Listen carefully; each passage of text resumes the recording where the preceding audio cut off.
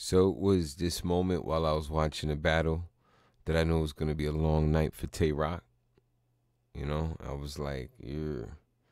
He was in rare form. It's like when Danny look, look what I'm saying. This part of a grand design. I rip his teeth out. Told my man, hand me the pliers. Smack, your shooter is getting fucked up by, By Danny, Danny the Myers. Myers. I'm from a family.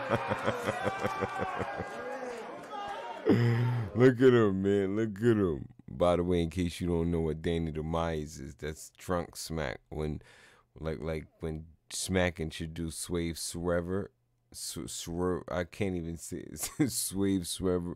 So when he introduced Danny Myers once, he a couple times maybe he said, um, you know, my and my man to the left, Danny Da Myers. So that was a good one in case y'all missed it.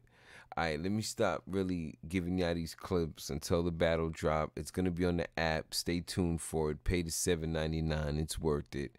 Um, but yeah, shout out to Danny the Myers.